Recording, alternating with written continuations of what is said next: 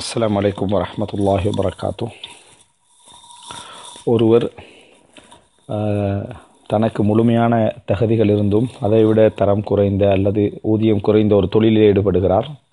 ஆனால் அந்த தகுதிக்கே இல்லாமல் சிலர் தகுதியாய்ந்த தொழில்கள் ஈடுபடுகின்ற பொழுது என்னை விட தரம் குறைந்த இவரே படிப்பில் தகுதியில் தரம் குறைந்த இவரே இவ்வளோ பெரிய தொழில் செய்கிறாரு ஆனால் எனக்கு அந்த தொழிலில் நான் வந்து வேறு வழி இல்லாமல் இந்த தொழிலை செஞ்சுட்டு இருக்கிறேன் அப்படி என்று நினைப்பது மார்க்கத்துக்கு முரணானதாக பொறாமையாக அமையுமா அப்படின்னு கேட்குறாங்க இந்த விஷயத்தில் நாங்கள் என்ன புரிந்து கொள்ள வேண்டுமென்றால் ஒவ்வொரு மனிதனிடத்திலே ஒவ்வொரு மனிதனிடத்திலும் ஏற்படக்கூடிய எண்ணங்களுக்கு இறைவன் குற்றம் பிடிப்பது கிடையாது.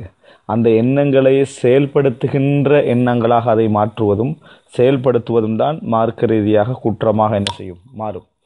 எனவே இந்த இடத்துல அவர் குற்றவாளியாக மாட்டார்கள். ஏண்டா ஹதீஸில் நாங்கள் பார்க்கிறோம் இந்த உம்மத்து தன் உள்ளத்தில் நினைத்தவர்களை அல்லாஹு தாலா மன்னித்து விட்டான் என ரசூலுல்லாஹி சல்லாஹ் அலி வஸல்லம் அவங்க சொல்கிறாங்க எனவே அந்த பகுதி இதுக்குள்ளே வராது.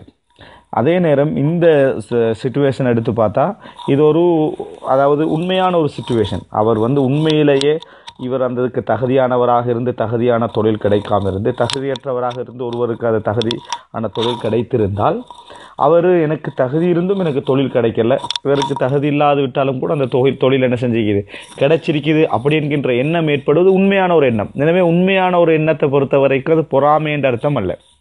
ஆனால் இது எப்போ கூடாத ஒரு நிலை அடையும் என்று சொன்னால் உண்மையிலே ஒருவருக்கு கிடைத்த தொழிலை அவரிடமிருந்து பறித்து தன்னை எப்படியாவது அந்த இடத்துக்கு கொண்டு போக வேண்டும் என்கின்ற ஒரு தவறான முயற்சிகள் ஒருவர் செய்வாராக இருந்தால் அந்த இடத்துல தான் அவர் வந்து தவறுவிட்டவராக பொறாமைக்காரராக அந்த இடத்துல தான் மாறுவார். அது அல்லாமல் அந்த எண்ணம் ஏற்படுவதோ அல்லது தான் தகுதியற்ற ஒரு தொழிலில் இருந்து கொண்டிருக்கிறேன் எனக்கு வாய்ப்பு கிடைக்காதனால எத்தனையோ பேர் தகுதி இருந்தும் தகுதி இல்லாமல் இருந்தும் பெரிய பெரிய தொழிலில் இருக்கிறாங்க அப்படி என்று சொல்வதும் மார்க்க ரீதியாக அது தவறான ஒரு நிலை என்ன செய்யாது?